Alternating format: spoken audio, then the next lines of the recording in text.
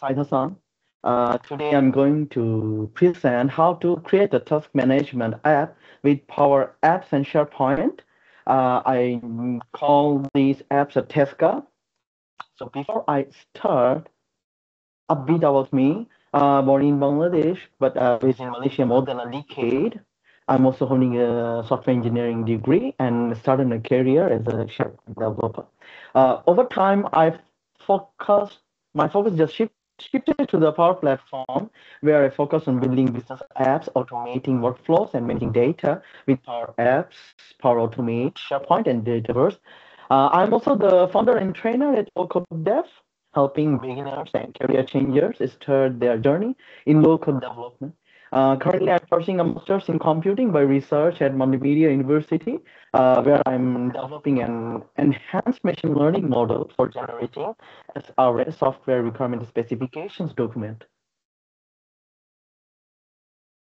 Okay, a little introduction of the Tasker. It's, Tasker is a productivity app uh, built on the Microsoft Power Platform designed to simplify our task management for both the individuals and teams uh, it integrates seamlessly with SharePoint Online, uh, allowing users to create, update, and track tasks in real time with secure data synchronization.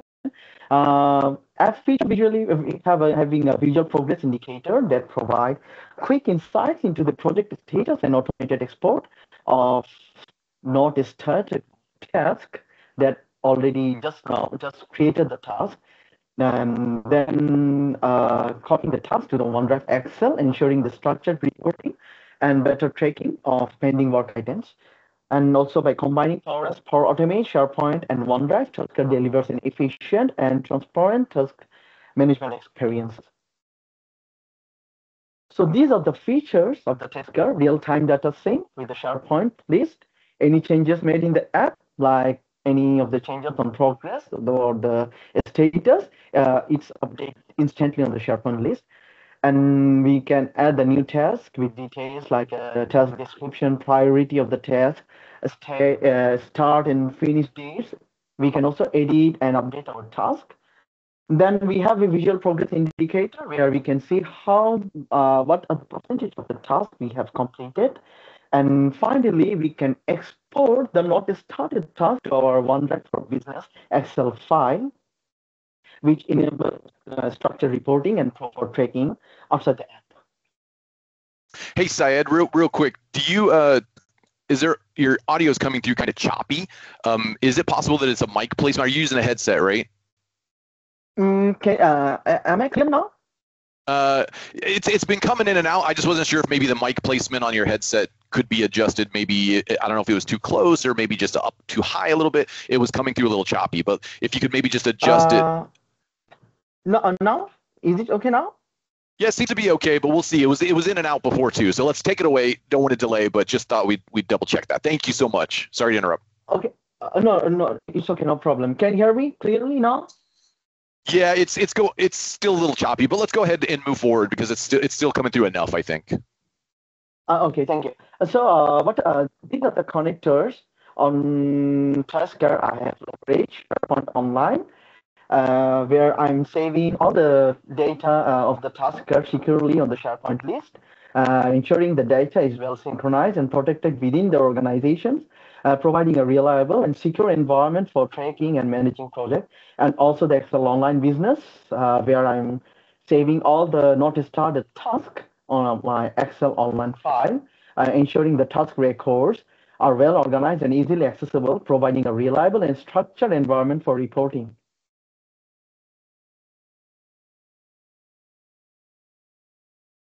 Okay, so how it works, uh, let's start the demo.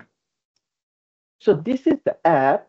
So uh, when I start the app, at first, uh, on, on my first screen is showing the dashboard where I can see the completed, how many completed tasks I have, task in progress, not started, and the block.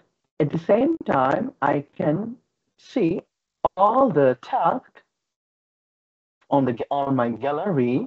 Then uh, I can also filter the gallery based on the status, let's say blocked or the completed, in progress, and also not a started task. I can also reset my control status. Then again, I can I can see all the tasks on the gallery. On this screen, this is uh, basically the upcoming tasks that I have, which are not yet started, and which showing the date, the how many days left, and assigned to whom with the picture. On the dashboard, and uh, I can see the title of the task, the progress bar, the status, the visualization, the, how, the percentage of the task, as well as the how many days left. Then when I click tasks, I'm having a screen where I can create a new task. Let's say I'm adding sample task task item sample task item task priority let's say i'm choosing high finish date 9 assigned to to me as i am only the single tenant save task once I save task, it will show the task on my gallery on the dashboard, which is not started, and also reflecting on the dashboard over here that two of the tasks has not been started yet. Now, here, these are the tasks haven't started yet on my upcoming task.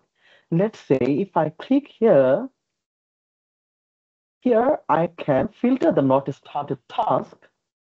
Let's say if I choose my current date, then on my current date, these are the tasks that has not been started with the details of the date, the status, and also the priority. Now, on the dashboard, I can also edit the task. Let's say I click sample task. From not started, if I click in progress and click update task,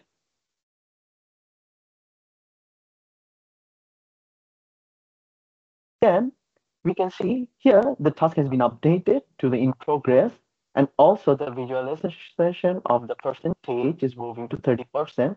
This percentage actually depends on this percentage uh, column, which is a customized column, it's a calculated column.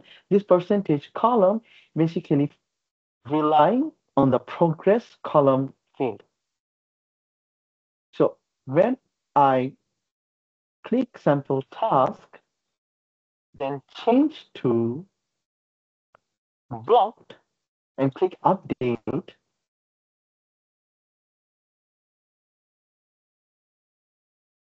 then it will change it to 20%. And the status will change from here, blocked. Now, from here, we can see that only one of the tasks has not been started. Now, here is the catch. When I click this paper icon, I can see the not started task are copied to cloud file successfully. So what's going on over here is when I click this icon, at first, it's sending the email with the not started work details. At the same time, when I go to OneDrive, click on the file not started works, it's also copying the not started work details on our Excel file online.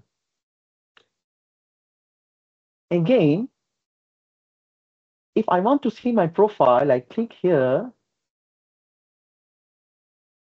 and I can see my whole profile containing my position company, the job, my email, my current location, and also the logout.